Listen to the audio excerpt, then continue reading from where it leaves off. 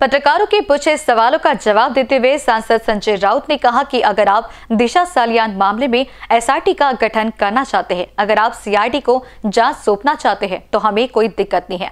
राजनीतिक विरोधियों के संबंध में झूठे भ्रम पैदा करना, बदनाम करना और अपना राजनीतिक रोटी जलाना सत्तारूढ़ दल का व्यवसाय बन गया है। संजय राउत ने कहा, यह बदनामी की फैक्ट्री है, लेकिन हम उनसे बेक नहीं डालते हैं। अगर वे एसआईटी जाँच कराना चाहते हैं तो ज़रूर करें। आपणच म्हणताय दबाव तंत्र. या दबाव तंत्राला आम्ही बीक घालत नाही.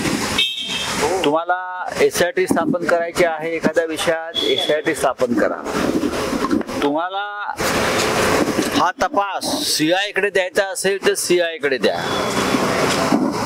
तुम्हाला केजीबी कडे द्यायचा असेल तर केजीबी कडे द्या.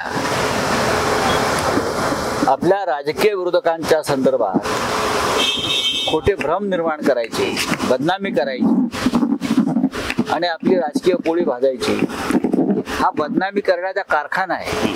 सध्याचं सरकार दिल्लीतलं आणि राज्यातलं. पण आम्ही त्यांना भीक घालत नाही. करा ना चौकशा ज्या कोणाच्या करायच्या आहेत तेवढ्या करा. लाखो कोट्यावधी लोक शिवसेनेमध्ये आहेत. त्या प्रत्येकाची स्वतंत्र यासाठी लावा.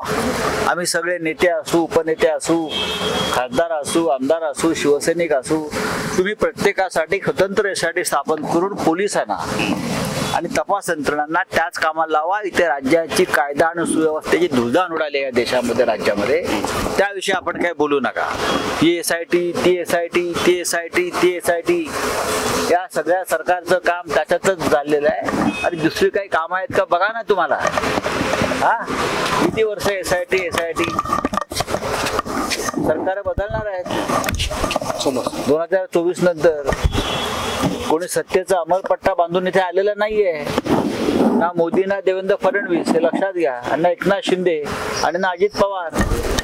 ही टेंपररी व्यवस्था आहे लोकशाही मधली करा ना एस आय टी स्थापन काय करणार तुम्ही आमचे एस आय टी स्थापन आमची उखडणार आहात का तुम्ही?